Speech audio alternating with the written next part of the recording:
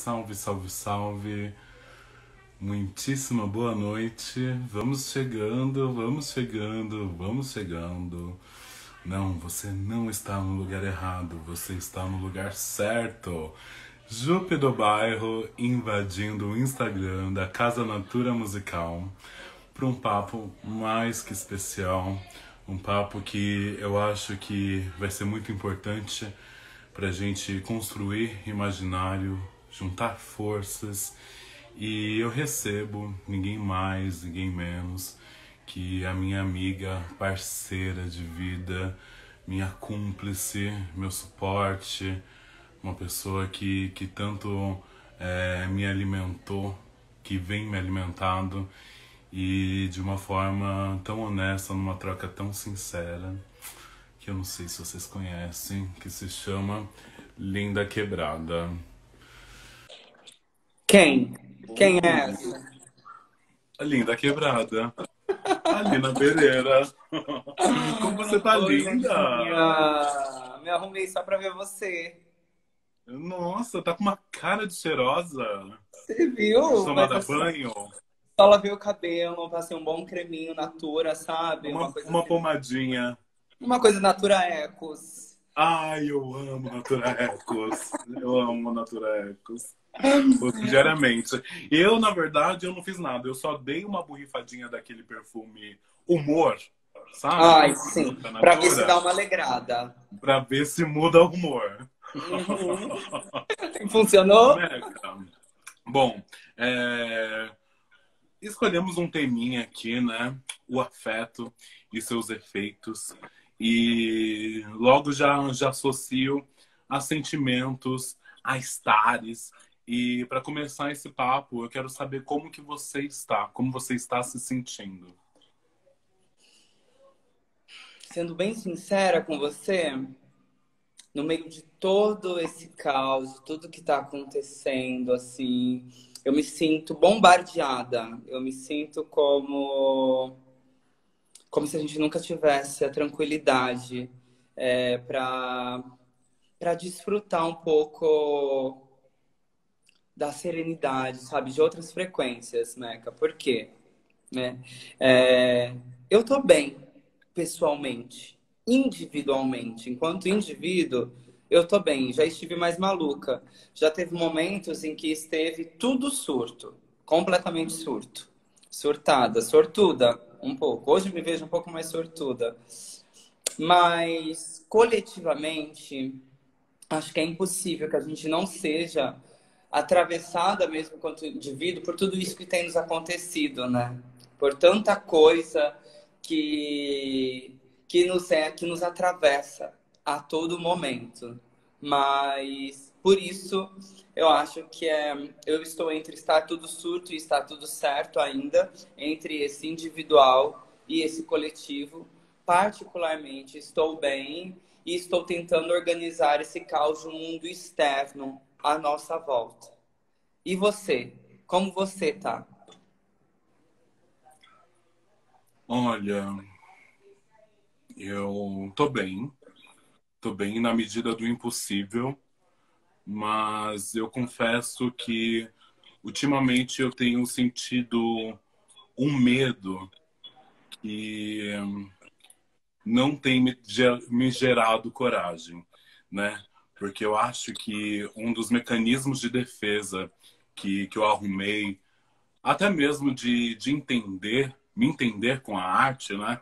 Porque apesar de eu não ter uma separação transparente do que é a Jupe é do Bairro vida. e do que é a Jupe Pires, eu acredito que a Jupe do Bairro nasceu para que eu pudesse me tornar a Jupe Pires.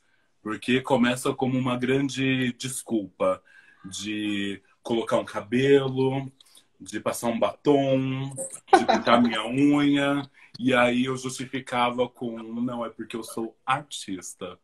E isso foi tomando proporções maiores, que foi tomando conta de mim. E hoje eu, eu consigo entender que foram os maiores atos de coragem deixar de ser quem eu já fui para ir me tornando outras pessoas e me conhecendo, me tornando o meu próprio laboratório. mas eu confesso que hoje eu estou num sentimento de, de medo, de medo mesmo, de incerteza, de sentir que o meu corpo e minha mente pode fugir da, da minha mão a qualquer momento, principalmente pelo externo. Eu acho que o, o interno eu consigo dar uma segurada, que aí a gente vai, vai lidando com, com as nossas inseguranças, com os nossos receios, com uma melhor maneira, mas vir com, com essas referências tão externas de, de ver ameaça de, de irmãs nossas, eu me sinto ameaçada, de ver a morte de irmãs nossas, eu morro um pouco também. Sim. E essa noite foi, foi uma das noites mais pesadas assim para mim depois da, do falecimento da, da Igona e eu compartilhei um pouco no, na, nas minhas redes e tudo mais porque eu precisava eu senti uma necessidade de desabafar para a massa, não era uma coisa de que eu poderia te ligar, por exemplo, de que eu poderia. Porque é mais, porque não é pessoal também, né? Não é pessoal. Não é pessoal. Não é pessoal. E, e, pode, e pode começar com mim, em mim, come, começar em mim enquanto sentimento, mas eu sei que não termina em mim, porque eu não sou a causa nem a causadora. Eu não sou a fonte. Eu sou o mas corpo que filtra essas informações sabe? Isso também te atravessa, né? Com certeza. Não, com certeza. E é, e é um atravessamento que parece que, que não chega nem a atravessar. É como uma facada mesmo. Vai ficando, vai fincando, e vai fincando, e vai fincando. E a gente vai terminando querendo é, continuar esse caminho, mas parece que justamente o início desse caminho é o fim.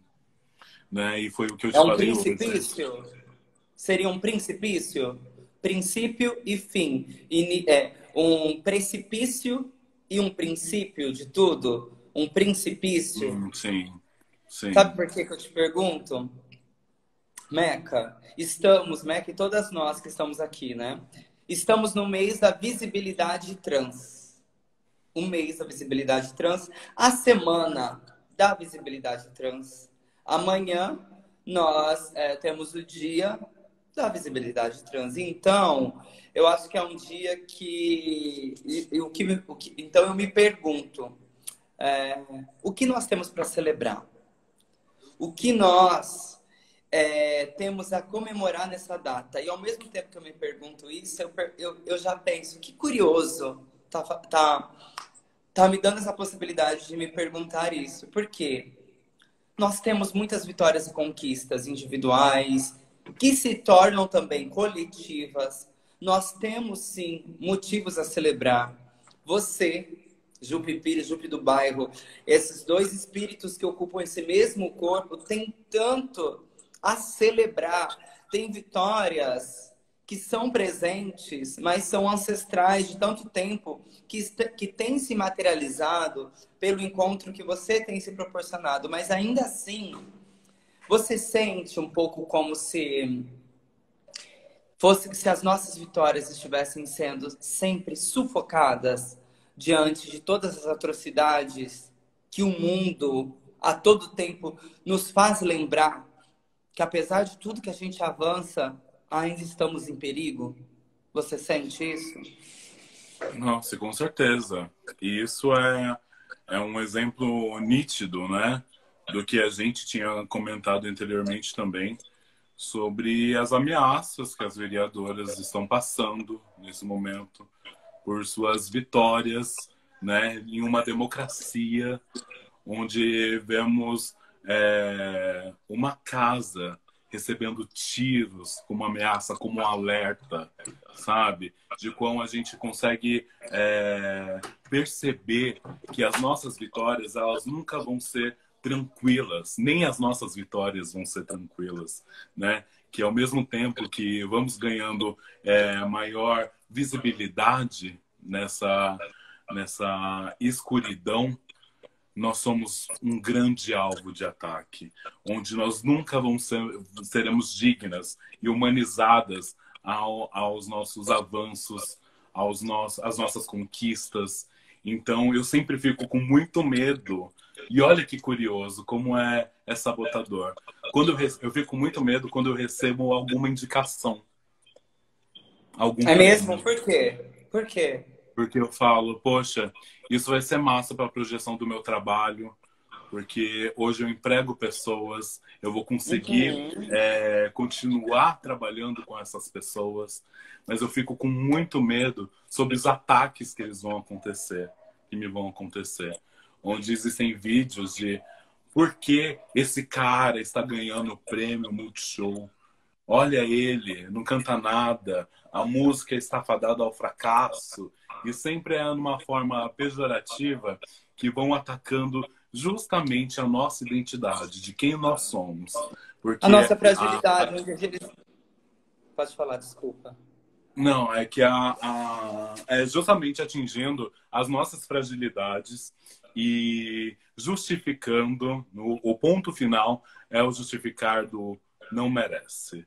Mas o não merece é, não merece a vida mesmo, né? E quando eu me questiono também sobre é, as felicitações de se comemorar o Dia da Visibilidade Trans e Travesti, eu fico me questionando que amanhã vai sair o dossiê da ANTRA, né? Que já, já saiu spoilers que continuamos vivendo no país campeão de morte de pessoas trans e travestis pela 13 terceira vez, né?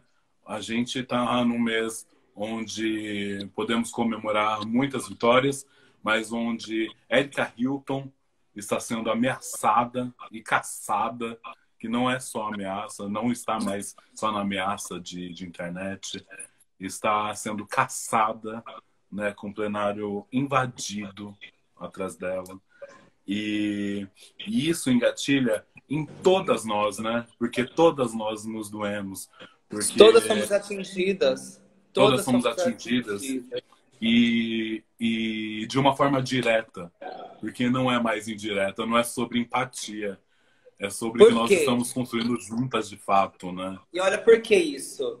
Porque quando eles, quando eles atacam você quando eles atacam a Érica, eles não estão atacando, não interessa, ao meu ver, não interessa você enquanto indivíduo e pessoa. Eles estão atacando aquilo que você representa para eles. Exato. Quando eles me atacam, quando eles me ameaçam, quando eles é, desvalorizam o meu trabalho, o seu trabalho, eles estão atacando também o que uma classe inteira representa, porque eles sabem do perigo que significa nós estarmos ocupando esses lugares, né? Nós sabíamos, nós sabíamos todo o tempo, nós nunca fomos inocentes quando pensamos nisso, mas ao mesmo quando iniciamos tudo isso, porque nós já vivíamos em risco, né? Há muito tempo nós já estávamos à margem e é justamente por isso, porque aquilo que não se imagina, porque eles não conseguiam nos imaginar, em espaços de poder diante das nossas próprias narrativas. O que nós estamos fazendo é tomar as rédeas da nossa própria história. É você ficcionar sua história no corre. É você reinventar a sua memória. Ela é, ela existiu, ela é viva, mas ela se torna ainda mais viva quando você toma ela sua, nas suas mãos e diz: não, não foi tão ruim assim. Mas tinha uns porcos planejando seu fim. Você sabe disso. E é justamente por isso que eu entendo que nós somos, sim, o país que mais mata pessoas trans e travestis. É importante que a gente não esqueça disso, porque é importante que a gente continue a lembrar quais são as nossas urgências. Mas é tão importante que a gente pense que nós somos o país também, dentre todas essas atrocidades que estão acontecendo, com todas as contradições possíveis, nós elegemos uma deputada estadual travesti negra que está negra negra que está fazendo mais do que o próprio presidente pelo nosso país e a gente percebe isso. A é gente, é fácil ele... também, né? Ela é incrível, mas é fácil. Exatamente, exatamente. E a nossa, e a vereadora mais votada, tipo, um recorde. São vitórias, é isso que eu tenho me perguntado. E eu, eu tenho pensado um pouco nela, sabe? Ao mesmo tempo, porque eu amo, por exemplo, todos os prêmios que você tem recebido, todos os lugares que você, com o seu corpo, com o que você significa, e que a gente sabe que aí há uma vitória que é um ganho para a música. Porque nós, a partir do momento que, que a gente estabele, que a gente entra nesse espaço que nos foi negado, e para além de, dessa negação toda, porque é isso, quem ganha com isso é a música. Quem ganha com isso é a música brasileira tendo você, tendo a possibilidade de trazer uma outra narrativa que não que nós estávamos habituadas, completamente já é, acostumadas, sabe? Isso refaz o nosso imaginário. Isso refaz os nossos ouvidos. Um timbre, que é o seu timbre, que leva ao seu pensamento, que leva à sua história. É uma vitória e é uma conquista inigualável. Estamos dentro do, de um espaço como da natura musical, sabe? Que a gente, se a gente olhar historicamente, que corpos, que narrativas, que vozes e a música. A música, ela não é só a virtuose. E eu estou dizendo isso para você porque eu estou dizendo isso para mim também. Porque a todo momento tentam nos fazer desacreditar. Desacreditar. Eu estou. E, e você viveu muito comigo, é, do, junto com o que nós estávamos construindo com Pajubá e na, na minha trajetória com a Linda Quebrada. E eu passei por muitos momentos. Então, teve um momento que eu, assim, eu acreditava muito em mim, eu estava muito certeira. Mas a partir do, do momento que a gente passa, não só a receber ataques, mas a estar em alguns lugares com parâmetros, com parâmetros que nos fazem nos comparar com esses corpos, algumas vezes a gente passa a perder mais uma vez os nossos parâmetros, os, os nossos horizontes, né? Para a gente lembrar que qual foi o porquê de eu começar a fazer música, né? Foi por você pessoalmente? Foi por você pessoalmente, mas também já não era porque não tinha como ser só por você, né? Quando você ocupa esse espaço, você já não está sozinha. E é por isso que eles vão te atacar. Porque, e é por isso que eles vão ameaçar a, a, a Érica. É por isso que a gente também tem que ter o cuidado e lembrar que há um poder entre nós que também é muito perigoso, que agora eu vou entrar nesse lugar que a gente já falou um pouco, mas que é inclusive do nosso poder, poder das redes, né? É importante a gente conseguir estabelecer redes que nos, que nos deem segurança e conforto e nos motivem e impulsionem, como a gente já fez e como a gente já precisou disso. Mas é preciso que a gente também se lembre do quanto as redes podem ser perigosas, as redes e os anzóis que nos capturem. Como, por exemplo, a internet, que transforma a Igona em meme e, ao mesmo tempo, a internet que destrói a Igona, que a massacra de uma forma que é muito cruel. Que é muito cruel. E é preciso que a gente tenha responsabilidade, que a gente entenda das nossas possibilidades, né? Não só das e entenda a nossa responsabilidade e que também responsabilize, né? Exatamente. Porque eu acho que é sempre muito importante esse ponto, assim, de quando nós usamos o parâmetro de um corpo abjeto se tornando um corpo objeto, é porque eu identifico muito a gente nesse Exato. lugar de que as pessoas elas se sentem dignas de eu te coloquei aqui, eu te tiro. É a síndrome de Pedro Álvares Cabral. Eu descobri, Exato, eu descobri Jupe do Bairro. Nós descobrimos a Jupe do Bairro, portanto, agora Jupe do Bairro deve atender às nossas expectativas, né? É, ao mesmo tempo, estou vendo aqui algumas pessoas, por exemplo, falando Igona presente. É muito lindo isso, de verdade. Mas ao mesmo tempo, eu questiono isso, né? A Igona está presente de que forma agora, sabe? Quantas e quantas vezes a gente vai deixar que isso aconteça? Nós vamos ser irresponsáveis com as pessoas ao nosso redor enquanto elas estão vivas, para depois quando elas se forem. É, é meio sádico isso, ao meu ver. Daí a gente falar, Igona presente, Marielle presente, muitas das nossas coisas fogem das nossas mãos. Sim, não, eu não estou dizendo que estão nas nossas mãos, mas estou dizendo que é preciso que a gente se responsabilize pelos nossos corpos e pelas nossas vidas em vida, enquanto estamos vivas também. Que a gente entenda. Enquanto estar gente... presente em vida. Exatamente. Exatamente. Para que a gente possa celebrar as nossas vitórias conjuntamente. Para que a gente possa se responsabilizar e entender os perigos de memetizar certos corpos, né? De transformá-los em memes, de esgotá-los, principalmente porque quem está predisposto ou predisposta a ocupar esses espaços, a gente tem um histórico de corpos trans e travestis que viraram meme. A gente tem um histórico onde a gente transforma a violência desses corpos em riso. A gente pode lembrar da Vanessão. A gente vai lembrar de várias travestis cujos históricos serviram de espetáculo. E esses corpos só não são interessantes enquanto nos fazem rir. Eles, esses corpos eles só importam para gente enquanto eles nos fazem rir. E muitas vezes nós utilizamos dos seus erros para espiar os nossos. Porque daí então a gente vê que aquele corpo, porque enquanto ele estava lá e me representava, né? Esse corpo era um objeto de, de querer para mim, né? Esse corpo objeto se tornou um objeto de querer e de apreço. A partir do momento que esse corpo me desagrada, é muito objeto mesmo, né? Eu me desfaço dele. Ah, ah. Ele não me interessa mais. Não, e, e o pior, que não é me desfaço. Eu. Eu massacro, eu quebro. Eu né? massacro, exatamente, eu massacro. Porque é isso. Porque ele me a... pertence.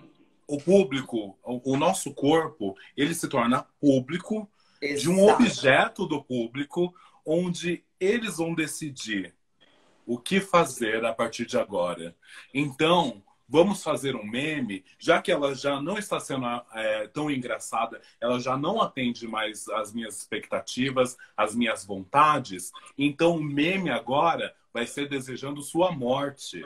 Morra, morra, deixe de existir, não sei o que. É, você vai pagar por isso. E é sempre num lugar de uma responsabilidade que, que foge das mãos do, do canal e de quem está canalizando. Que é a única, é uma forma de, de extermínio direta mesmo e sem nenhuma humanização. E é isso que eu fico muito me questionando, assim, quando, quando eu vejo é, sempre esses os nossos corpos, os corpos, principalmente os corpos T, que são é, direcionadas a, a uma força, a uma coragem, e que a gente vai sempre aguentar tudo, porque são muitos venenos que a nossa vivência nos traz e, e tudo mais, mas eu fico me questionando, e é quando, quando eu me pego que muitas vezes eu acredito nisso também. Eu acredito nesse lugar que colocam a Jupe do bairro, de ela é forte, né? Ela é briguenta, ela, ela sempre vai estar pelo certo e tudo mais. Às vezes eu começo a acreditar mesmo, e por isso que eu me cobro tanto quando me vejo numa fragilidade que hoje eu, eu me sinto muito mais confortável em dividir em tentar me humanizar para mim mesma, pelo menos. Porque eu não posso acreditar no que estão criando sobre mim, do que está sendo criado sobre você, nessa, nessa força absoluta que se cria em Erika Hilton. E, e eu, eu Porque queria. a representação, a gente tem que. Desculpa te interromper, mas a gente tem. A gente tem não, mas é o meu ver, né? Mas o meu ver é a gente tem que se livrar por desse fetiche, desse desse fetiche e desse feitiço da representação. É um fetiche pela representação que foi interessante, que é interessante, mas ele não pode ser o nosso objetivo final. E por que eu estou dizendo isso?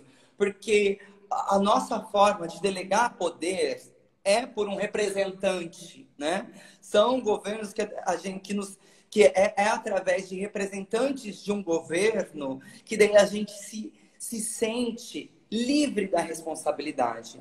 Não é como se nós fôssemos cidadãs que tivéssemos, sim, não só direito, mas o dever de intervir. O dever de, de não delegar função e poder a outra pessoa, mas de, de que governássemos de uma certa forma juntas. Isso é democracia, não é? É que a democracia nunca existiu. E da mesma forma,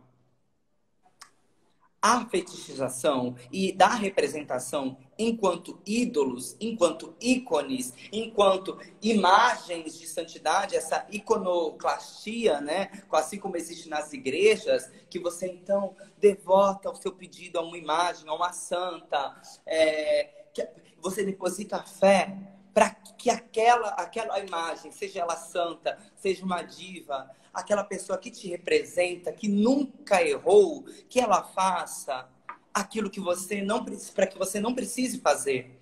Porque você me representa, Jupe. Você me representa, contar, você faz tudo nossa, aquilo. Sim. É que eu não, caminho. A, a, e sem contar que o quanto mais alto você colocar esse ser celestial, mais longe ele fica de você. Sabe? Exatamente. Exatamente. E por mais isso fácil que nós nunca fomos humanas. por aquilo. Mas nós nunca fomos humanas. E é isso que também eu tenho tentado cada vez mais colocar meu, na minha cabeça e no meu corpo. A humanidade não nos pertence. Nós nunca fomos humanas e talvez nós nunca seremos, porque a humanidade ela já nasce fadada ao fracasso. E o meu compromisso é com o fracasso, mas não esse fracasso estabelecido. Porque a humanidade, ela já nasce enquanto conceito de humanidade, enquanto um conceito branco, civilizado e europeu, que nós nunca fomos.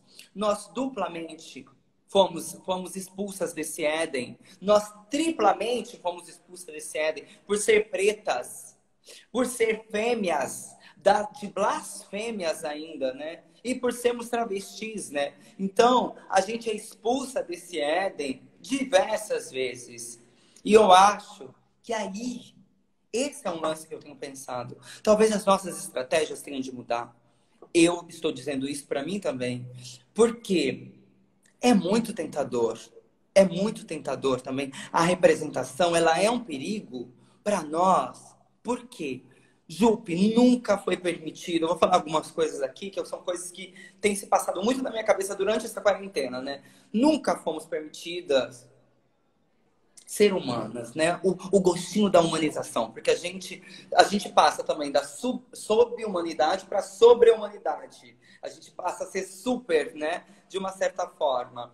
Mas por que, que eu estou dizendo isso? É, quando a gente passa a ser alguém a ser alguém. Agora como se você fosse a Jupe do bairro. Então, muitas pessoas, como, não como se antes você, é como se antes você não fosse ninguém. E agora você é alguém. E, e isso passa a ser muito tentador para nós, né? Porque são possibilidades que a gente nunca teve. E a partir disso, né, que nos são oferecidas essas migalhas do sucesso, que muitas vezes até nos desviam, nos distraem, eu acho que aí acontece um movimento que é de captura. É de captura. Porque daí, sabe que nem aquelas máquinas lá que vem, desce, pega você e leva para lá? Porque nós estávamos no meio de todas, era uma bagunça, ninguém era vista por inteira. Quando eles capturam a gente, e a gente já utilizou isso, mas quando eu penso, quando eles nos denominam artivistas, né? Então, você não está fazendo mais música, você é artivista. Então, eles capturam, ah, a artivista é aqui. Então, você ocupa esse espaço e aqui é onde você pode se revoltar. Aqui é onde você pode fazer a sua baderninha, a sua baguncinha, pode fazer suas exclamações, faz sua militância, canta a sua musiquinha, mas não é música, é militância, entendeu? Vamos, vamos lá com a militância. Então, com vocês, a militante Zup do bairro que é e Linda Quebrada, que aí passa a ser um movimento de militância limitada. Por que essa militância limitada?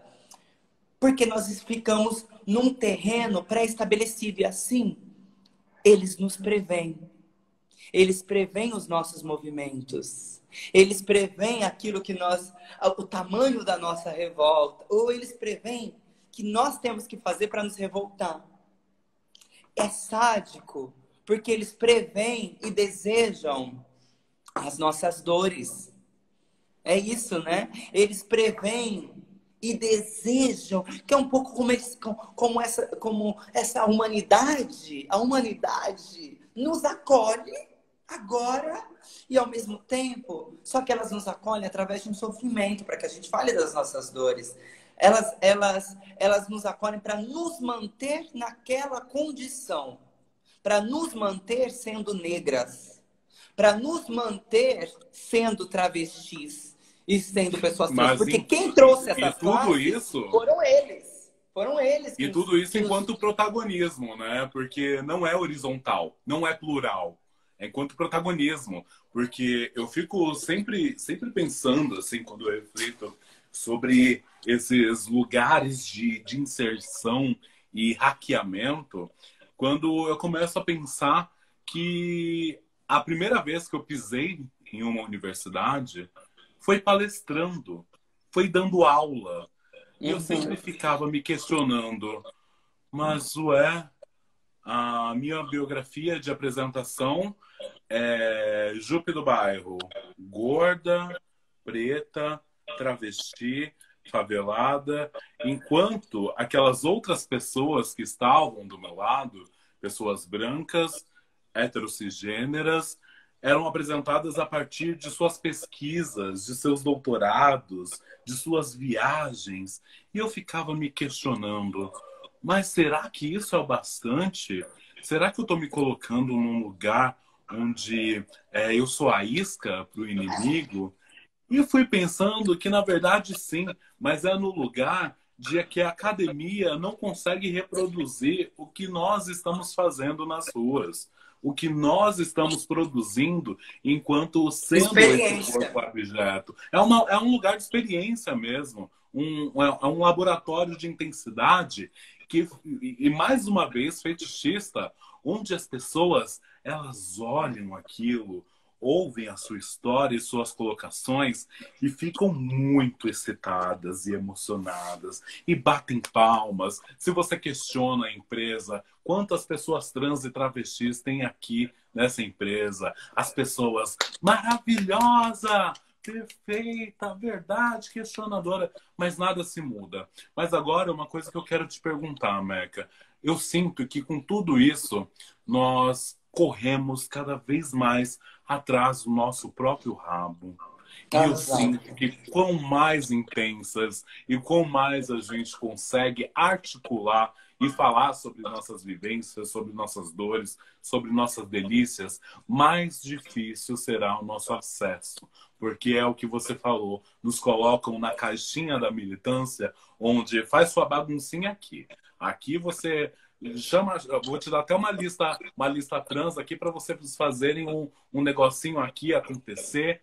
E mas quais, quais são o, qual é o próximo passo, Meca? O que, que você acha que a gente precisa é, entender para começar a movimentar estrutura mesmo? E eu, a coragem. fico me questionando, a coragem? A coragem de enfrentar o fracasso. A coragem de fracassar. Esse é o meu ver a coragem de fracassar, a, a coragem de abrir mão desse sucesso fadado ao fracasso, de um sucesso do sistema. E, é, e eu não sei a fórmula de fazer isso. E quando eu digo que eu não sei a fórmula de fazer isso, é porque talvez que eu esteja querendo dizer que talvez nem eu tenha a coragem de fazer isso. Porque eu sinto todas as estratégias são importantes. É preciso que a gente não se esqueça de estabelecer as nossas rotas de fuga. Quando a gente, quando a gente entrou nesse jogo, quando eu entrei nesse jogo, e agora vou falar por mim, quando eu entrei nesse jogo, eu estava fugindo. Eu estava fugindo. E de repente, nessa, na, na minha estratégia de fuga, de repente, abriram-se as cortinas, acenderam-se as luzes, eu peguei o microfone na mão, começaram os flashes e então eu disse, eu fiz, aconteceu. Só que passou, passou um tempo, o tempo foi passando. E eu continuei. O tempo foi passando e continuei. O tempo foi passando e continuei. E eu me esqueci de para onde eu estava indo. Será que eu estava indo eu estava vindo para cá mesmo, para esse palco? Será que aqui era o meu objetivo? Será que esse era o lugar aonde eu estava querendo chegar? Ou esse era um caminho pelo qual eu estava passando? E quando eu digo que é preciso ter a coragem, é preciso se lembrar, é preciso se lembrar de não esquecer. Como diz a nossa célebre amiga Aventura Profana também, tentaremos não esquecer. É preciso tentar não esquecer, porque com tantos flashes, com tantas luzes, com tantas perguntas a todo momento, às vezes a gente se esquece de para onde a gente estava indo. Para onde a gente estava indo? E no mesmo momento em que eu me, que eu me, me pergunto isso, é como se eu me lembrasse e se eu me esquecesse. Porque não é fácil isso. E por isso que eu digo assumir um compromisso com o fracasso. Porque o sucesso é o que eles nos prometem. E eles são importantes. É muito complexo e contraditório. Eles são importantes e fundamentais, né? É, o, o, o sucesso são os prêmios, o sucesso é o pódio, o sucesso é, é, é para poucos. O sucesso, nosso sucesso, infelizmente, este sucesso fadado ao fracasso, ele significa que muitas outras de nós de ter perdido. Primeiro, que eles fazem uma categoria, muitas vezes, Algumas não, por exemplo. É, algumas vezes eles fazem uma categoria de inclusão e diversidade. Eles criam uma categoria para nos dar a falsa, a, a, ilusão do sucesso. Só que daí a gente compete entre as nossas com uma diversidade, uma pluralidade gigantesca, porque o que eu faço é completamente diferente do que você faz, que é completamente diferente da Aline, que é das Bahias, da, da Aventura né? Nós, nós não fazemos uma arte trans, uma arte travesti. Eu faço música. E a partir da minha música, assim eu faço, assim como eu atuo, construo diversas outras coisas, a partir da minha vivência. E ainda assim eu tenho que fugir dessa minha vivência para que eu não fique refém de mim mesma. Refém de me representar, de representar os meus limites, porque eu quero ser outras coisas, eu quero ir além de mim. E para isso, para ir além de si, é preciso relembrar e estabelecer as suas rotas de fuga, e ao, ao meu ver, e, e eu, assumindo as fases com o meu corpo, refazer os meus compromissos com o fracasso, porque o meu fracasso é o fracasso do sistema. Nós somos, você está nesses lugares, é sinal de que eles falharam é sinal de que eles não previram as coisas tão bem, né? Mas ao mesmo tempo a gente precisa ir estabelecendo os nossos mecanismos para que cada vez mais a gente tenha mais autonomia sobre a nossa anatomia, uma autonomia anatômica dos nossos corpos e uma autonomia que eu não sei como a gente vai fazer de um mercado a gente precisa é, criar é um mercado negro. que eu ia chegar. Porque estou falando tudo isso, só fica cada vez mais transparente que, na verdade, o que está caduco é a cisgeneridade. Porque reconhecer o fracasso, a gente já reconhece, a gente já vem criando e fazendo coisas extremamente. Porque chegar onde nós estamos chegando é porque ficou insustentável não se falar dos nossos corpos, não se falar das nossas vivências, né? E por mais que, que existem marcas e instituições que usem os nossos corpos enquanto validação, é porque também já não se faz mais sentido não ter os nossos corpos, não falar sobre as nossas vivências, sobre os nossos atravessamentos e engolir a seco tudo isso que, que nós estamos propondo, né? Por isso e... eles estão nos convidando para fazer parte do clubinho deles. Eles Exato. Vem ser humana! Vem ser humana, você Vem ser humana, vem ser humana. Mas, mas vem você, vem você, vem aquela ali um pouquinho. Aquela, não. Aquela não, aquela ali não. Aquela, aquela, aquela ali não. E é assim, entende? Yeah. Yeah. E, e eu, eu, eu, eu, fico pensando também é, numa coisa que, que, que eu acredito que nós estamos fazendo e muito bem, é justamente de tornar as nossas redes afetivas e efetivas e econômicas. Exato. Porque ah, é uma batalha, é, né? Eu, eu, sinceramente, eu tenho falado isso algumas vezes, que eu cansei de hackear. Eu cansei de hackear. Eu não quero ser é, a, a protagonista daquele lugar de fala. E tanto que hoje em dia eu estou conseguindo fazer, é, a partir do meu trabalho, a partir do, do caminho que eu tenho tomado, de minimamente reeducar esses mercados, levando questionamentos onde não vai ser. Se eu estiver numa revista, eu vou precisar montar minha equipe de, de direção artística, eu quero que eu escolha o fotógrafo, a fotógrafa, eu quero montar a minha equipe.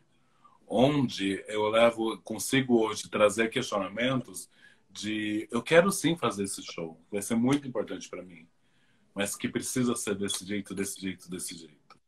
E Meca, vou te contar um segredo. A hum. partir do momento que ele se vem deitando para uma travesti. Porque, olha, eles deitam, né? Eles já se deitaram deitam. Deitam, mas eles deitam. se deitaram. E eles se deitaram com a gente já, mas eles se deitaram em silêncio. Eles se deitaram às escondidas. Eles se deitaram e fizeram. É, fizeram eles se deitaram a um ponto deram... de legitimar a nossa mulheridade enquanto mulher cis e não travesti, e não enquanto uma mulher trans. Você entende a linha tênue? Você é tão mulher quanto eu. E Por não, isso... não sou. Exato. Por isso que eu afirmo o meu posicionamento enquanto travesti. Porque não me interessa, ainda que numa, que numa travestilidade, é, que a travestilidade binária no feminino, no, no, que, eu, no que diz respeito a, ao feminino, o feminino é um território que me interessa. Mas o que me interessa é ser travesti a mim. Não me interessa ser mulher. Não é a disputa desse lugar, dessas categorias. E não existe esse lugar de ser mulher. Existe Exato. de ser mulheres, né? Exato. Ser milhares e ser muralha. Porque quando nós somos mulheres também, nessa, nessas milhares formas, cada vez melhores, melhores e piores. Porque somos melhores e quando somos piores, a gente é melhor ainda. E somos muralhas somos muralhas. E quando você estava falando uma coisa que me fez pensar, né, que é isso, do lugar de fala. Eu acho que mais do que qualquer, do que lugar de fala, eu quero fazer silêncio. Por muito tempo eu disse que eu não sou cantora, cada vez mais eu tenho me, me recontado isso para que eu lembre de para onde eu estava indo, para onde eu estava indo. Eu não sou cantora, não é esse território de disputa, porque nem todos os territórios de disputa merecem ser disputados por nós. Nem todos eles a gente precisa estar disputando, porque tem algumas categorias que são falidas. Não me interessam alguns prêmios, não me interessam estar em alguns lugares de disputa. Isso não quer dizer que a gente não tem que estar disputando. Isso quer dizer que eu não quero estar disputando esse lugar, né? E eu já disse muitas vezes que eu não sou cantora, mas que eu canto para ser ouvida. E agora, eu sinto que eu quero fazer silêncio. Eu não quero ter que falar em acesso. Luta por mim, como diria aquela cantora. É, nossa, eu gosto muito dela. Nossa, ela é tudo. Eu gosto mais ou menos. Eu tô eu entendendo ainda. Nossa, Acho corredora. Corredora. Corredora ela. Corretora. Corretora de imóveis. Mas, Mac, eu quero ser pausa. Eu quero ter pouso, sabe? eu, quero, eu não quero representar. Nesse dia da visibilidade trans, sinceramente, é pode ser muito cruel ouvir isso para todo mundo que está aí, mas eu nos acho muito hipócritas algumas vezes. Eu acho que a gente está estabelecendo algumas algumas regras, né? E, tipo, não, não, não que sejam completamente nossa responsabilidade, mas a gente tem uma responsabilidade diante disso que algumas vezes a gente é hipócrita, que a gente sabe que nós somos interessantes em um lugar determinado também, que a gente capturou de divas e ícones e tudo mais, e que esse espaço ele é muito limitado, porque eu não vou ser o objeto de vocês agora, sabe? Eu não vou conseguir representar e eu não quero representar esse espaço porque eu não tenho compromisso com a raça, eu não tenho um compromisso com o gênero, eu não tenho um compromisso com essas classes identitárias que foram pré-estabelecidos e que hoje, mais uma vez, nos servem de captura. Eu estou fugindo disso, sabe? Eu continuo em fuga e eu não posso me deixar capturar para ser mais para ser a negra fujona, né? Para ser a trava fujona, né? Porque quando, na, nas épocas da escravidão tinham as fujonas, aquelas que fugiam, e as que fugiam, elas eram marcadas no seu rosto a ferro quente, a ferro e brasa, com um F. As fujonas, né? Os fujões. Eu não vou ser capturada, eu não vou ser marcada, mas para isso é preciso que a gente continue fugindo, né? E uma hora cansa também estabelecer todas essas rotas de fuga. Mas hoje eu sinto que talvez a gente precise estabelecer para manter, para eu não sei a fórmula de como fazer isso, mas é fugir dessas capturas identitárias, é fugir de, de ocupar o espaço de representação ou lembrar que a representação é um trampolim. Você a, a representação é que você usa ela e vai além. Agora, se você ficar só pulando nela, vai ficar lá, ó, fazendo as outras se divertir. Uma boba. Pulando na frente dela, como se fosse uma cama elástica. Você vai achar que a, a representação não é uma cama elástica, amor. A representatividade, ela é um trampolim. Trampolim e cama elástica, ó, trampolim, cama elástica. Consegue distinguir? Ai, ai, Meca. Super, super, Meca. E, nossa, é tanta coisa, na verdade, já passou tanto tempo. É, parece que a gente não tem nada para falar, mas quando a gente vê. Não, gente... nossa, e é, e é muita coisa, assim, que eu fico. Eu fiquei lembrando também é, de uma vez que eu tenho muitos, já tive muitos relacionamentos né, na minha vida. Fui bem-aventurada, namoradeira. Vamos falar namoradeira. Namoradeira. e para não falar pironha. Exato. Mas eu sempre, eu sempre vi é, uma responsabilização, é, principalmente de, de homens, né? Colocando, é, principalmente nesses momentos de encontro comigo mesma, com esses novos eus, assim, de responsabilizar é, de não sei como lidar com o seu corpo, não sei como te tratar, não sei como me relacionar com você. E uma vez, é, eu em uma discussão, eu estava com, com um namoradinho, que ele me disse que ele não estava dando conta da nossa relação, porque eu não descansava, porque eu estava sempre armada e que eu não tinha paz, que é, é, a, a, minha ele se sentia incomodado com estar deitado na cama comigo e eu não conseguir dormir. E por conta da minha ansiedade e por conta da dessa desses bloqueios e tudo mais. E ele foi muito sincero e honesto de que dessa vez o problema não era meu mas o problema era dele e ele não estava dando conta de tudo isso ele não estava dando conta de viver com uma travesti, né? E eu acho que é, não ia chegar em lugar nenhum, é só para a gente ter enquanto reflexão mesmo, né? De, do quanto ainda a gente tem que, que caminhar para se entender, se reconhecer. Imagina e sustentar o né? nosso próprio corpo. Sustentar o nosso próprio corpo. Então, pegando um gancho também no que você disse, sobre o descansar, eu também quero reivindicar esse lugar de descanso junto com você e, e, e pedir para as pessoas também que lutem por nós, o nosso local de fala é a partir da nossa vivência, do que nos atravessa, do que nos impulsiona. Mas o nosso local de fala não é o seu local de silêncio. Lutem Exato. por nós. Lutem por conosco. Nós, falem por né? nós. E quando eu falo falem por nós, não é falem sobre no nós. No nosso lugar. Não é no, no nosso, nosso lugar. lugar. Fale do seu. Exato. Mas por nós. Para que podemos estar de, de alguma maneira, de forma horizontal, caminhando, porque estamos cansadas.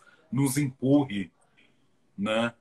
E Bom, e abandone né, essas categorias também, falidas. Tá tudo falido, entendeu? É... Uma coisa que eu acho interessante, sabe as andorinhas? É andorinhas que voam, elas vão em V assim, não voam? Voam assim em V, que vai Sim. uma na frente e vão as outras atrás. Elas vão se revezando nesse lugar, né? Até a nossa ideia. Eu já vi pombo voando assim também. Será que era pombo mesmo? Né? Eu acho que era pombo. Porque... Foi aquele, se você tá falando do casal da Sé, foi pombo. Ah. Não, mas continua. Porque a nossa ideia também de liderança também é um pouco. Eu penso muito tudo. Talvez a gente precise trocar os nossos termos, né? A representação, a interpretação nesse teatro antigo, velho, falido, fadado ao fracasso, que nós estamos atuando, enquanto nós temos papéis, sejam eles. Porque se a gente pega uma figuração, a gente já fica feliz. Porque a gente já está numa figuração, até porque a gente precisa receber alguma coisa. Estou fazendo essa metáfora do, da, da vida, né? É... Mas por que essas, essas, essas identidades fadadas ao fracasso, quando a gente fala de contracenar, contracenar, quer dizer também entrar e sair de cena. Isso é muito lindo. Quando a gente entende que contracenar, eu não tenho que estar o tempo todo nos holofotes, né? Quando a gente entende que contracenar não vai ter que ser eu sempre para falar sobre pessoas trans e travestis. Se, se for assim, isso está errado. Se vocês que estão aí em casa só me conhecem e conhecem a Jupe do bairro, se vocês só, só ouvem a nós enquanto corpos trans e travestis, tá errado, gente. É hipócrita e talvez seja, seja difícil ouvir isso. Se você não conhece, se você não tem amigas e amigos trans, homens trans, né? Se nós não estamos inseridas no seu meio de vida e social, né? Se a gente só se conhece pela internet, assim, se você só tem, se você só admira essas pessoas que são famosas, tem alguma coisa de errado aí, porque nós nos tornamos um pouco mais palatáveis. Isso porque se você conhece a gente famosa, porque se você conhecesse a gente da época da Roosevelt, talvez vocês nem quiserem, talvez vocês já até tenham passado pela gente não lá na Roosevelt. Não tô entendendo onde você tá querendo chegar. tô chegando no passado e no presente chegando no passado e no presente. E dizer... futuro, no futuro, como uma extensão do presente, inclusive. Exato. Para falar de futuro, é preciso tensionar o presente. E é esse o nosso lugar. E não se tensiona o presente, deixando isso nas mãos de alguém que nos representa. Quando a gente fala de tensionar o presente, essa é uma responsabilidade nossa e coletiva. Eu preciso de você, Meca. Eu aprendo com você. Você, você é um dos motivos que eu tenho para comemorar. Não essa baboseira de visibilidade trans do dia 29. É importante historicamente. É importante historicamente enquanto conquista. Mas não me interessa o dia 29 para que a gente fale sobre isso. Não me interessa o mês da visibilidade para que a gente fale sobre isso. Me interessa agora outros espaços de disputa. E nisso eu digo que você, Meca, você é uma vitória, você é uma conquista que me engrandece. Né? Eu estou feliz com o teu sucesso, é como a música da nossa grandiosa. E eu realmente sou muito feliz com o teu sucesso. De verdade, de verdade. Quando você, quando você vence, por mais que eles queiram dizer que só você está vencendo, eu me sinto vencedora também. Por isso que talvez você sinta que o espaço lá no pódio fica apertado, porque eu tô lá, eu tô lá com você. E eu acredito que muitas outras, muitas de nós estamos. É mérito seu. Que mérito também é uma palavra ó, né? É mérito seu. É, são as suas conquistas, são os seus feitos, é o que você construiu na sua trajetória. Mas eu me sinto fazendo parte. Obrigada.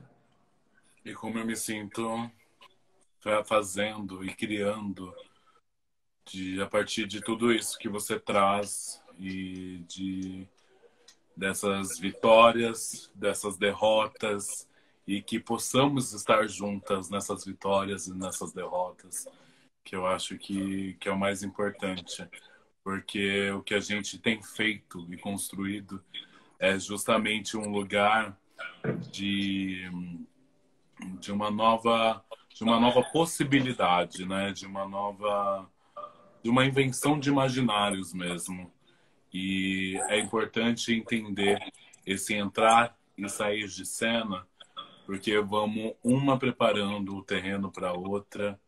E para outra. Para que a próxima possa viver um pouco mais, um pouco mais confortável, com um pouco menos de veneno. E, e assim a gente vai criando essas muito mais do que invasão, essas destruições e que possamos cada vez mais fortes andar sobre as muralhas, mas reconhecendo nossas fragilidades e tropeços também. Meca, muito obrigada. Muito obrigada por esse papo. Muito obrigado a todo mundo que assistiu. É, a live vai ficar salva aqui no Instagram da Casa Natura Musical. Fiquem ligados também, porque terá mais afetos. A programação está babadeiríssima. O Afetos vai contar é, com, uma, com uma programação vasta, com artistas, pensadoras, produtoras, enfim. E também tem a programação que já está disponível da Sala de Estar, que vocês podem conferir aqui no Instagram da Casa Natura Musical também. Muito obrigada, muitíssimas boas noites e a gente se encontra logo menos na Meca. É isso aí. Um beijo. Vacina já. Te amo, Meca. Obrigada, Te amo, gente. Meca. Se cuida.